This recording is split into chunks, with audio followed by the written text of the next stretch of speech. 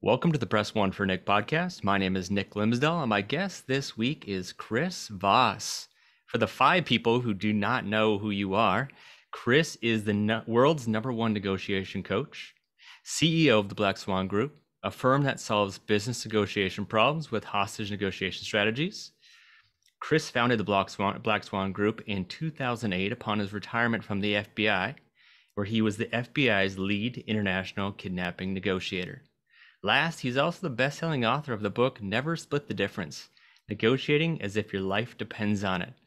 And just recently, it made the Books Authority Best Influence Books of All Time. Chris, welcome to the podcast. Hey, man, I'm happy to be here. Happy to be on. Thanks for having me in. Yes, sir. So, one question I ask every guest is what's one thing people might not know about you? Wow, I'm a grandfather. How about that? yeah, and also, you know, I grew up in Iowa. I'm a small town Iowa boy. I know I know the accent doesn't sound like it, but I grew up in small Midwestern town. I, I love that. I appreciate the the honesty and and uh, kind of stepping out. Uh, I've gotten everywhere from uh, I, have hold I, I, held gold at a, at a crazy museum to I played adult hockey to uh, all sorts of neat things. So uh, being being a grandfather is a great honor.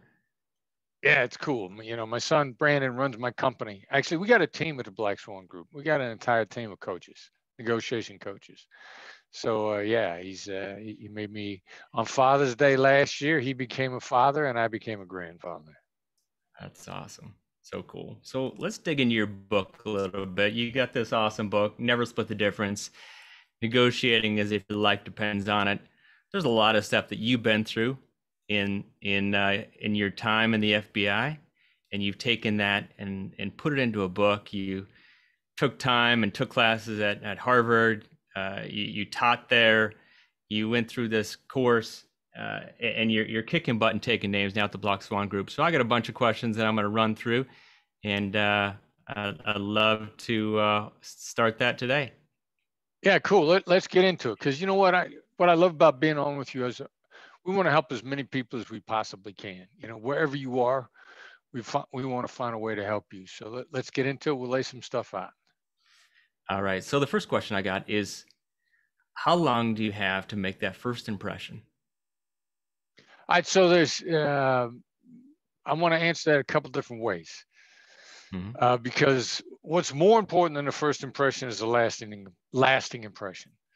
But you got seven to ten seconds to make a first impression, and um, there, you know, there are two bells you need to ring in that seven to ten seconds, and you can only ring them in a really counterintuitive way. But seven okay. to ten seconds for the first impression. And, and what happens in that seven is yeah, what is that? All right. So first of all, uh, trust and competence are the two things, which seem like a really tall order at the very beginning. Um, which is why a lot of people, you know, it's not laying out your resume. It's not saying trust me. You don't. People don't trust you by saying if you say trust me, and everybody knows that. Uh, but here's something that most people don't know because empathy is about demonstrating understanding. And you don't show that you've understand understood people by saying I understand. Mm-hmm. It just doesn't happen. So those of you that are out there that are think, thinking you're saying I understand is going to make the other side feel like you understand them. Um, you know, I'm sorry, I, I got I got bad news for you. It's as effective as saying trust me. and so, as a hostage negotiator, how did you you talked about those two things but you got people that are robbing banks that are taking uh, hostages. How did you make that first impression count? Yeah um, first of all it's your tone of voice. You know one of the things that we teach in the black swan method is um, you know what tones of voice are good what tones of voice are bad. Basically especially at the beginning the late night FM DJ voice. Now I'm impacting your mirror neurons and actually starting trust with you just based on the sound of my voice. It's a neurological response. That voice is reassuring. It feels trustworthy. So before I've even finished a sentence, I've gotten started on building trust. And, you know, when I negotiated the Chase Manhattan Bank robbery hostage taking back in the last century, you know, I don't even want to say what year it was. Uh, the, the second bank robber on the inside surrendered to me personally. He came on the phone after we'd been on the phone for five hours. He didn't know that the negotiators had switched from the other guy to me, from Joe to Chris. But he gets on the phone, and about 90 seconds in, he says, I trust you. That was completely based on my tone of voice. So hmm. the, the mechanism, if you will, people these days like to talk about hacks and shortcuts. What you're really after is the most effective mechanism. The mechanism for trust before you finish the sentence is your tone of voice.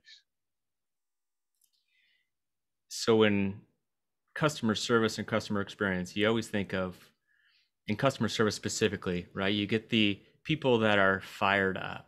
They are they are ready to to rip that customer service representative a new one right? And you're saying how do i get them to calm down and maybe not meet match that match that voice or their cadence but slow down the conversation to get them to trust you? Once they trust you then you can start solving their problem yeah there's you know you you touch on something that is so misunderstood because there's a lot of training out there that says match their cadence and then they'll feel that you're like, and then start taking your voice down. And people go like, "Holy mac, holy cackle, uh, holy mackerel!" You know that worked. Well, it worked in spite of the first part. What really worked was when you started to take your voice down. That's when it came down. There wasn't this bonding moment while they were melting down, so you should melt down simultaneously. You know, they didn't go like, holy cow, I'm melting down. He's melting down. We must be alike. I'm willing to follow his lead. No, no, no, no, no.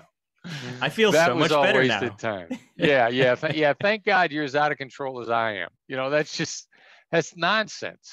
Yeah. But people miss it because of when the mechanism went into gear was when you started to take your voice down uh, they say like, wow, you know, that worked. Um, yeah, it worked, but you, you, you know, it, it was delayed because you screwed up the first part. Yeah. It could have worked a lot quicker if you would have been a buffoon at the beginning. exactly. Yeah. So in the book, you talked about listening is the cheapest yet most important concession. Can you explain that? Yeah, you know, it doesn't cost you anything to listen. And listening is not simply not talking, waiting for your turn. You know, a lot of people misconstrue silence as listening when they're really waiting for their turn. You know, listening is actually hearing what other people say. Tactical empathy is a demonstration of understanding. And you don't demonstrate your understanding by saying, I understand. You know, you, you listen, you dial in, use one of the black swan tools probably a label. It seems like it sounds like it looks like, or if you, if your game is stepped up to the next level based on our training, you can adjust that slightly. But a hostage negotiator is going to say right off the bat, you you know, sound upset. You, you sound like you want to get out of here. Get out of there. You, you sound like sounds like the day is not going as you planned it. You know that's uh, dialing into showing demonstrating an understanding of the dynamic. And what is the importance about labeling those fears? Ah so completely counterintuitive. Labeling fears diffuses them. And we're much more into neuroscience these days with tactical empathy application of empathy with the tactical understanding from neuroscience. Neuroscience has shown us really clearly through experiments, and a bunch of people have done these. The first time I ran across the experiment was in a book called The Upward Spiral. where they put people in fMRIs, functional magnetic resonance imaging equipment where you could they could watch the electrical flow of thoughts in the brain. It lights up like electricity. They show people um, a picture that induces a negative thought. You know, could be a puppy in the rain, could be a baby seal, could you know, make, you know, who knows? It doesn't matter. You know, could be a little old lady uh, all by herself, looking lonely. All they know is that it induces negative thoughts. The person sees a picture, the appropriate areas of the brain are pre-identified as where essentially negative emotions are amplified, lights up the amygdala. And then they simply ask the people, what are you feeling? Which is a self-label. And every time the people would self-label, simply call the negative emotion out, the electrical activity would diminish. Now, there's two important things there to remember. First of all, it happened every time.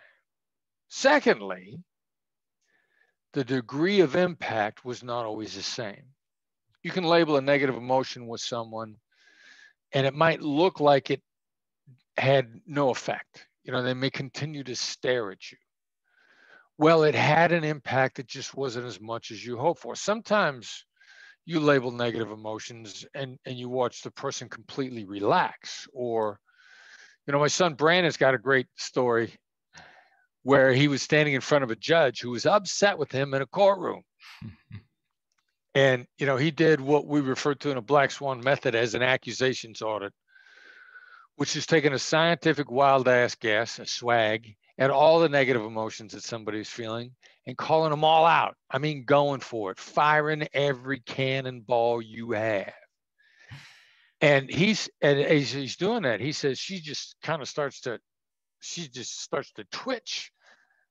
And you know uh, because the electrical activity in her amygdala is just like bang bang bang bang bang completely changing in an instant.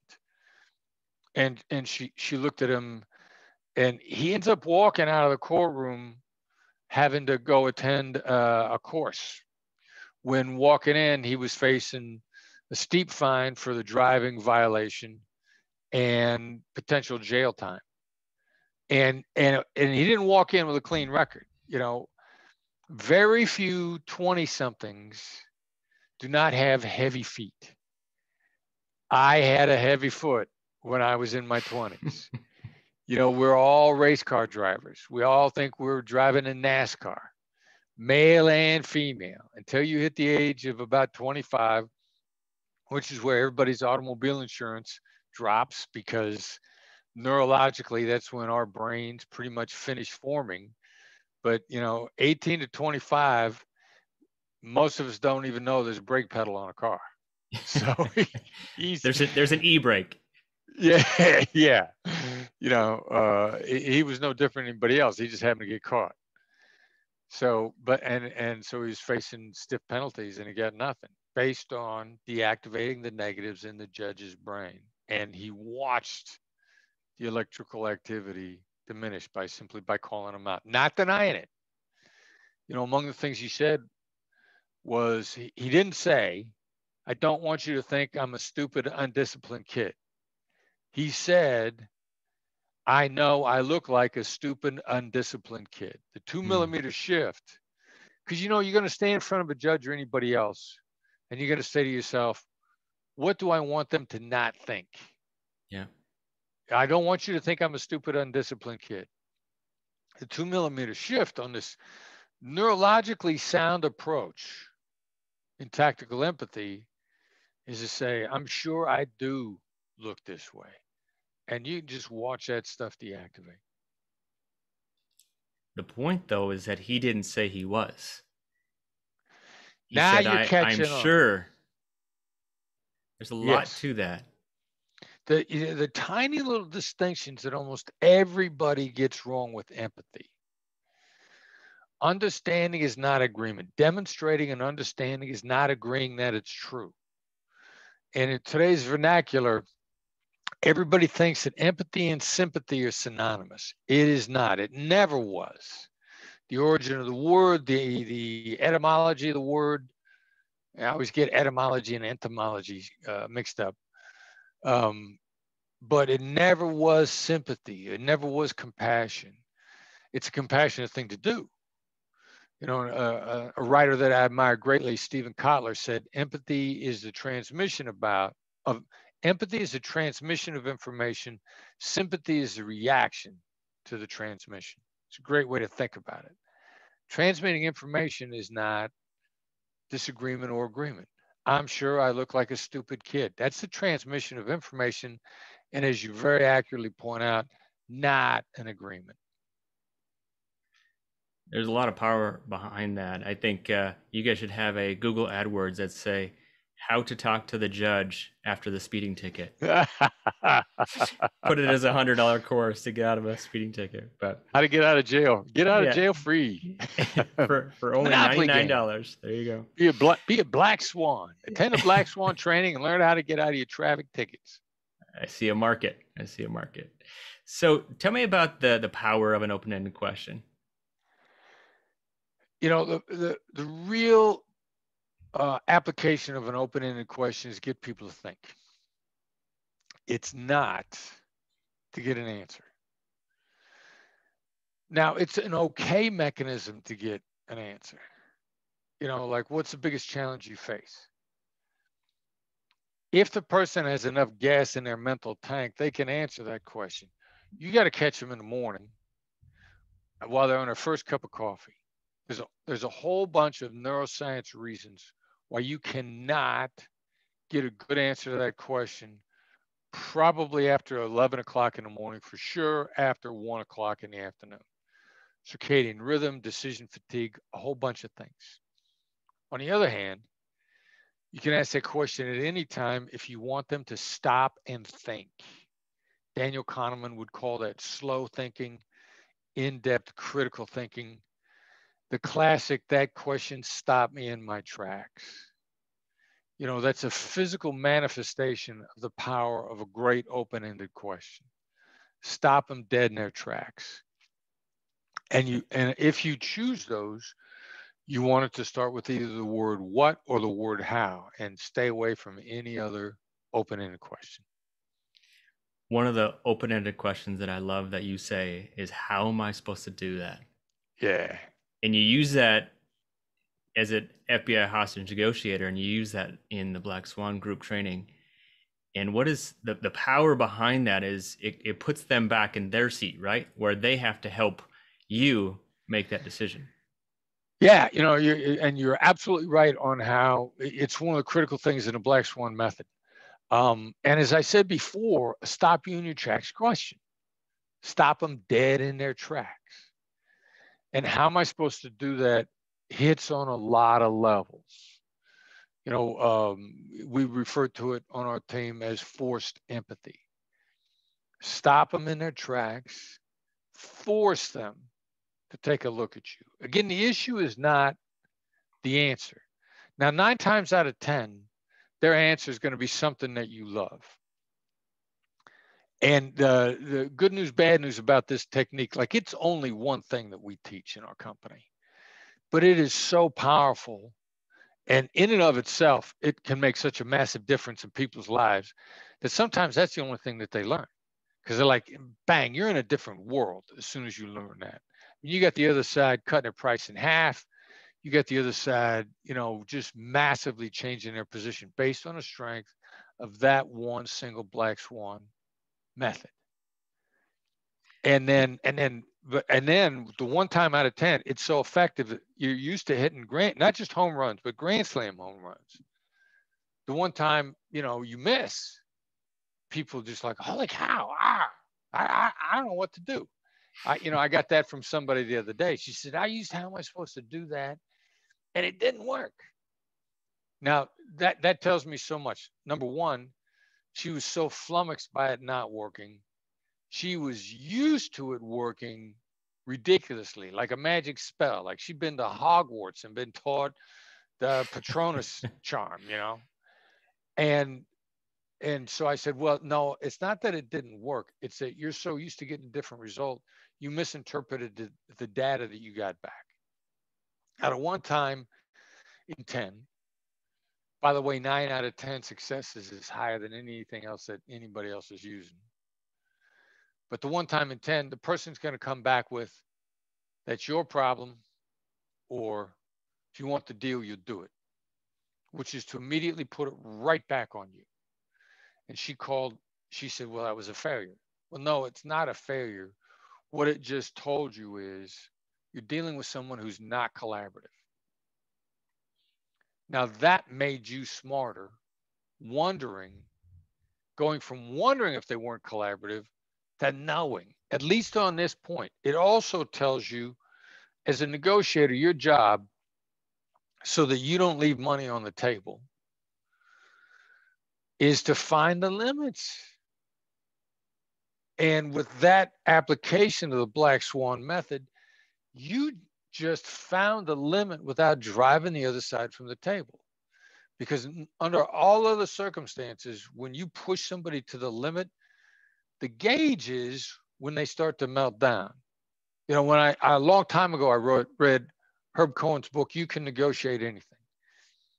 You know, if you're into reading the literature of negotiation, everybody that I know read this book. It's probably their first negotiation book. Herb told people push them till they're genuinely angry, genuinely angry, because that's when you know they're at their limit. There's always a toxic residue from genuine anger. And I remember doing that. I remember thinking like, well, cool, you know, I'm going to continue to pound this guy until he's angry, until they pound the table. And they go, because that would hurt me. That would cost me. I would lose money. And, you know, Herb's instruction was like, awesome. You, you just found the limit. You did your job. Where we are here is find a limit without inducing that sort of anger, which is radioactive toxic waste which is not what you need for long-term successful relationships so that you know that's the other thing the misinterpretation of the data how do you not leave money on the table you push the other side until they say because if you want the deal you're going to do it and you go like awesome i just did my job yeah there is a ton in there too like how do i continue to push somebody to that limit by still gaining their approval or trust along the way and building that relationship yeah. because there's yep. there's a fine yep. line between that of pushing yep. them to that frustration point to saying hey i still like you. I still love your service. I still love the product. I still uh, appreciate you but here's our limit. Yeah. And and you you hit on a really important point in that long-term relationships are how you get wealthy. It's a combination of assertion and empathy, and actually in the opposite order. Empathy precedes assertion. You know, and, and another thing that um, is like required reading in our company, and it's at the point now where coaches that um, we're going to bring on have to read this. And it's Bob Mnookin wrote a great book called Beyond Winning. Second chapter is the best chapter on empathy that I've ever read anywhere. And I got a negotiation book. And Mnookin's chapter on empathy is better than what we put up. Tension between empathy and assertiveness. And I remember looking at the chapter title thinking like, you know, Bob, what are you doing? There ain't no tension. You're making it sound like it's an either or thing. And then I get into the chapter and I realize it's almost a fake title because he clearly lays out the case that empathy precedes assertion and that empathy makes your assertion more effective. And his definition of empathy, he just flat out says it is not agreement, it's not even liking them. And when you can understand empathy that way, you can be a black swan. I love that. There's a ton to ton to get to that black swan level. So I recommend everybody yeah. taking a peek at that book, Never Split the Difference. But uh, a couple more questions I have for you. One of them and, is yeah, I'm going to interrupt you for one second because yeah. I, want to go off on a tangent on a point because you're talking you're about everybody. Huh? Whoever you are, you're at some stage of your journey as a negotiator. You might be just at the beginning, you might be intermediate, you might be advanced. We got something for you at the Black Swan Group we will meet you where you are and we will help you move ahead. And the point that, that I really wanted to go off on just now when you said everyone, everyone is at a different stage in their journey. We'll meet you where you are. And the point is, is that everybody's in negotiation, whether they know it or not. Yes. Amen. And so, Let are the you gonna- say amen? so one of the techniques that you do is uh, something called mirroring and uh, how is that you call it the the closest thing to a jedi mind trick and i Oh, man. love that but tell me more tell the listeners a little bit about it and why it works Well, uh, you know, the black swan mirroring is not the mirror that you hear, and also the nonsense where, you know, if they put their hand to their chin, you put your hand to your Mhm. chin. If they lean to one side, you lean to the same side. This is not body language mirroring. You know, that's uh, that doesn't even come from a great place. Um, mirroring is starting out by repeating the last one to three words of what the other person has just said. Has just said. Yeah, the last one to three words. See, I just mirrored myself. Yeah. Last one to three ish words. It could be one word, it could be three words. It is the least amount of thought. It's the simplest mechanism there is. You don't even have to contemplate. Somewhere in the dim recesses of your mind, no matter how startled and flummoxed you are by the insanity that's coming from the other side, you can pull out the last one to three words and it's a great skill to use when someone has just said something that has just sort of so caught you off guard that you're just you're just flummoxed you don't know what to say. It's a it's a great way to give you time and contemplation without having the other side have any idea that's what you're doing. So it's great at getting you back on your feet. Now what does it do to the other side? They want to talk some more. They love it. Not only do they want to talk some more and and this is another example of how a black swan tool is a is a next level tool. If you didn't understand something that somebody just said, you'd probably say, "What did you mean by that?" Common common guidance: ask good questions, gather information. That's a what question? What did you mean by that? What are they going to do? Quite likely, they're going to repeat what they just said with the exact same words, only louder, just like an American overseas yeah, I want one of those, I want a donut. You know, when you're pointing at a croissant in, in France, give me that donut. what? A donut. You know, we say it again louder. but we do that to each other because for whatever reason, the words that we've chosen in our brain make the most sense for our vernacular. Now, many times it's got to be reworded. And a mirror actually gets people to say the same thing in different words and it will be more enlightening for you and for them. You know, my son Brandon, he, he is he's got a great story, which I think is probably in the book. We're prepping to do a training, and we're trying to get the notebooks together. You know, to me, the uh, but when I say notebook, I got one picture in my head, and and he's got a different picture in his head. Now, in his head, a notebook is basically a, a folder um, with pockets. And that is not what we're supposed to be getting together. And so I, I ask him literally, I say, have you, you know, are the notebooks ready? And he goes, what do you mean by notebooks? Because he suspects that we're not on the same sheet of music. So what do I do? Notebooks. I say the same word again, only louder. And it, we go through this three times until finally he mirrors me. He goes, notebooks? And I go, yeah, three ring binders. and he's like, look, pal, in my mind, a notebook and a three ring binder are two distinct things. And that's what the mirror does, you know. And and he mirrored me, and I and I probably I probably did calm down a little bit. So a mirror is just repeating the last one to three ish words. A lot of people say, well, uh, can I repeat words that weren't just the last ones? And the answer is yeah. When you get good at it, then that mirror becomes a surgical tool that you can use all over the conversation to guide things. The other side doesn't even know you're doing it.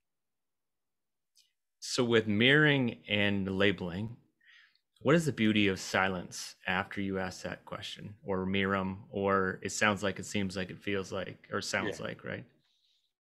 Yes, yeah, si- silence. It's so powerful. You know that we've even changed the term in in the book. We called it effective pauses. Now we call it dynamic silence. Um, you know, as the Black Swan method continues to evolve, and as we learn this, you know, and, and silence really comes in in several doses. You know, there's a half a breath. There's a moment. A moment's three seconds. And dynamic silence is when you just shut the front door, you shut the heck up, and you start counting thousands to yourself. And look at them. Now, don't glare at them. You know, don't don't don't look like a serial killer when you're looking at them. But count one thousands. We got people that we've trained um, who said, "I've never counted past seven. I I go expecting to go till forever some, some most people never get past three. One person told us, and uh, our my company's literally coached thousands in all situations.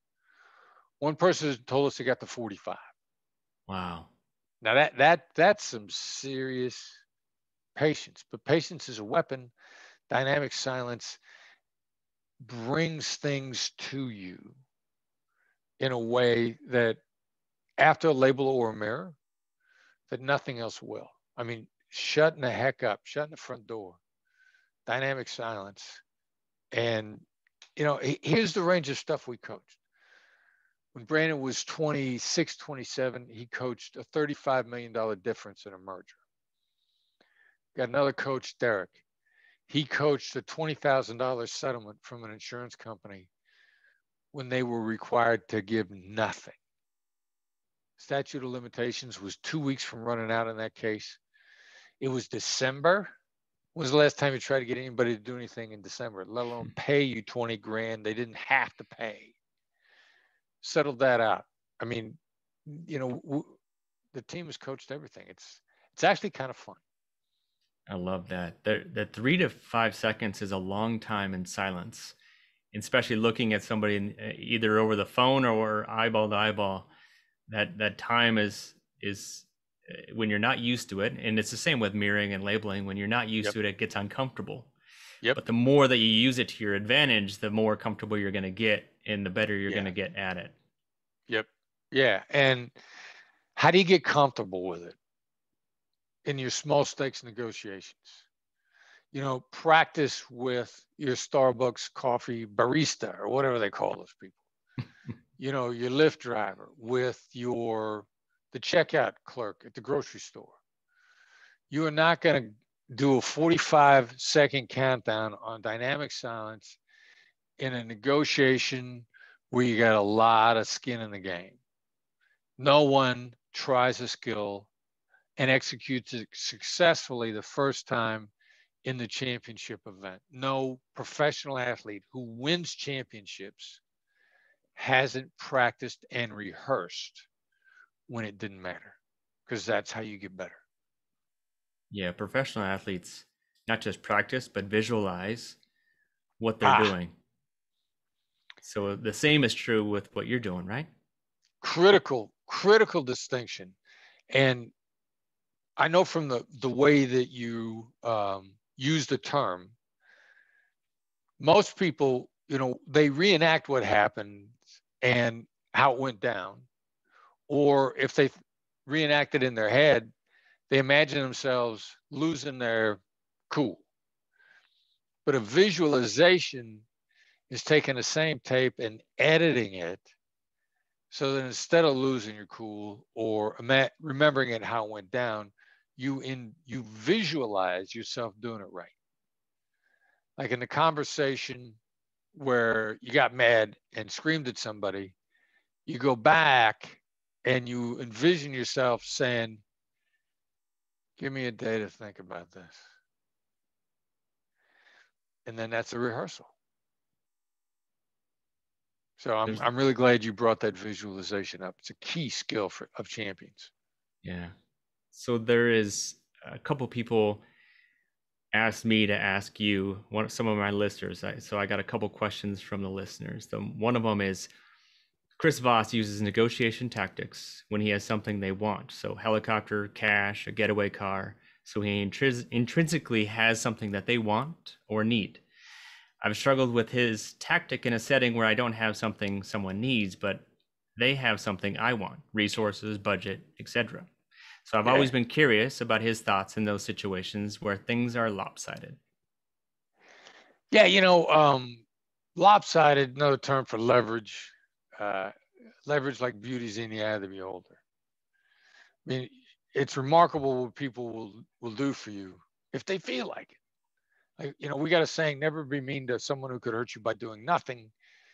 Well, that's almost everybody I talk to. or the very circumstance where you got you think you have nothing to give and they got something you want. Well, the flip side of never be mean to somebody could hurt you by doing nothing is pretty much anybody could help you if they felt like it. So how do you get them to feel like it? Again, the question. Really counterintuitive, it's going to be deactivating the negatives. Give you an example. Um, I'm on a first date with a young lady just a couple of weeks ago. Reservation in a nice, nice steakhouse. They're walking us in. They walk us right past the table I want to sit in, and they walk us to the back room that's like isolated, no mm-hmm. windows, storage room, not, you know, mediocre tables. And, and I know, you know, they're social distancing. I've never been in there before. They're saving the prime time tables for their favorite customers. But I want a great table. My reservation is not putting me there. Plus, I don't want the waitress going back to the maitre d and getting shot down. So we walk up to this table and I look at this young lady and I go, I am going to be the worst customer that you have tonight. Late night FM DJ voice there yeah, with the delivery. I heard that. Yeah. And then dynamic silence. Because I got to let this baby sink in. I got to let her amygdala kick in and you know bad customer. I mean she's thinking about the people that you know they want to they want to sit there and eat barefoot or maybe they want to stick their face in their plate or you know what kind what what's the range of bad behavior that qualifies? She's going to envision all this stuff in a split second. I know it's going to happen because i want my ass to seem like a relief seem easy if your ask is a relief and fulfilling it is going to make them feel good. So she just, she just, she just all crestfallen in front of me. And I go, I, I want to sit at that table over there. And she goes, Oh, oh, of course. Of course. She walks us right over. I get the best seat in the house. We sat right down, and my date is impressed. You're like, I don't, she's like, I don't know what this guy just did, but it worked. Yeah. Yeah. So, you know, asymmetric situation there. I get, I get nothing. You know, you could say, well, yeah, you know, tips, uh, you're going to pay this, you're going to be that. Like, you can imagine all sorts of reasons why you got a disadvantage. If you're in a conversation with them, you have the opportunity to create a better outcome and make them feel great about collaborating with you. I remember hearing it say saying, you know, in a book about men being more appealing to women, you know, how to be more of a gentleman. And the saying was, you know, never let a woman leave your presence without having been made to feel better about herself as a result of the interaction. And I know I mm. sort of butchered that, but you know, if they interacted with you, she should feel better about herself. You know, point of fact, no human should ever leave your presence without having been made to feel better about themselves in the interaction. And with that being the case, it, the humans are your waiters, your waitresses, your Lyft drivers, your Starbucks coffee baristas, the person behind the counter at the airline. And then and then that becomes part of your MO and, and your world becomes a different place. It just becomes a more pleasant place to be in. Yeah, I would say the same is true in customer service nobody's going to bring a problem and leave their life behind. They're bringing their problem and frustration. My my I need my oil change. Somebody just hit me. I need gas. My kids got F F grades. they come in they're coming to the situation how do you provide that that same experience where they left that situation better than they arrived and i i love that how you brought that to to the relationship with, with on the dating side but you know when it comes to the contact center like i said at the very beginning most people don't call into the contact center happy i always joke that they listen to the rocky music the, the soundtrack they do their, their 10 15 push-ups and they're getting ready to uh, fire it up, right? And they're so. What tactics do you recommend using when customers are are ready outside of, and maybe there's a blend of all of these? But is it is it just listening? Is it tactical empathy? Is it mirroring? Is it labeling, or is it something else? All right. If if if I'm if I'm working on the the receiving side of those calls, mm-hmm. I'm going to start out by labeling the emotion that I hear and and being willing to make it sound like I'm partially culpable because they think you are. So I would probably start with it. It sounds like what we did has really upset you.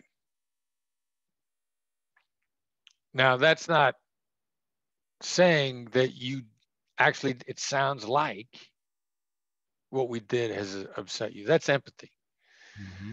Now there's there's something that i hear constantly that i understand why it's being used and i i utterly despise it. And i know the customer service reps are trained to say i'm sorry that happened to you or some sort of an apology. I knew that was coming. Everybody does it. Now, and and first of all, you say it because you're trained, and one in three people hearing the words "I'm sorry" is almost life changing for them, and those stick out in your brain. The fact that the other person detests it hmm. two out of three times is lost on you because they probably don't immediately scream at you for it. I can tell you that I feel like screaming at the person.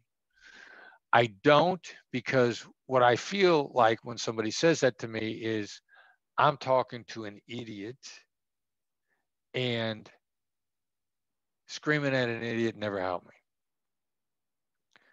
So I know you're trained to do that and I know in one in three times, it's a life changing moment for the other person. And you remember that and you value that because if you're working customer service, you probably actually care about the people that are calling in. You know, not everybody in customer service does, but you probably actually care. And to have that kind of a positive effect on someone is genuinely meaningful for you. And you don't realize the degree that the other two out of three detest it because they don't give you that strong of a reaction. But you know, I got I got really solid reasons. The Black Swan Group, we have tested literally in excess of 20,000 people for their conflict type. Thomas Kilmann conflict mode instrument is a testing tool that we used to use. We've now adapted it for our own purposes. We believe the world splits evenly into three types, fight, flight, make friends. Uh, and we got no shortage of data that makes us very confident in that assessment. And it doesn't matter if you're Chinese or uh, Latino or African or Western European or vegan. It doesn't make any difference. The world splits very evenly into thirds. We've polled globally, everybody, people in every country. We got solid data. Fight, flight, make friends. One evenly into thirds. The make friends person lives for the apology. And apologies are transformative for them and cannot be transformed until they've heard it. The other two out of the three all say the same thing. That's a cheap currency. You didn't change my problem by apologizing. I still got the same problem. It was there before you apologized and it's there after. But the customer service people they train to apologize and they have some very solid feedback that encourages it. Yeah. I mean, even on the opposite side, as a consumer, if somebody says, I'm sorry, I should just label or mirror it, and say, I'm sorry, and hear back what they what they're what they're going to say. I always try to think of it from the consumer side too. So Chris, I wrap up every podcast with two questions. Super easy. What book or person has influenced you the most in the past year? So parameters. And then if you could leave a note to all customer service professionals, it's going to hit everybody's desk Monday at 8 a.m. so they can acknowledge and understand and do something about it. Past 11, they're toast. What would it say? All right. And then well, I want to tell people how to follow up with my company. So yes, sir. where you are. Yep. All right. The book in the last year, probably Taken for a Ride by Bog. Oh, no, no, no. The Ride of a Lifetime by Bob Iger, former CEO of Disney relentless in his understanding and application of empathy throughout his career. Um, got written off time after time, was in company after company that was bought by other companies. What normally happens when the company you're in is purchased? Shortly thereafter, you're shown the door or you get out. He rose to the top every time, every time.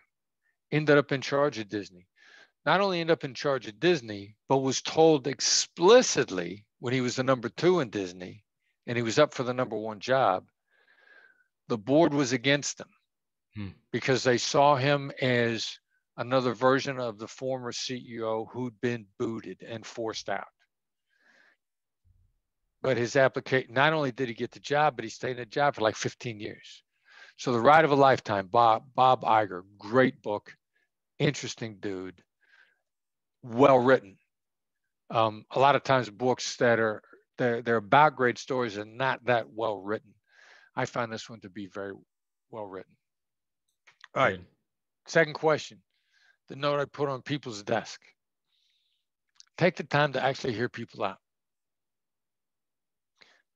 You're going to get basically a seven to one rate of return on your time because people are going to continue to come back to you until they feel heard out.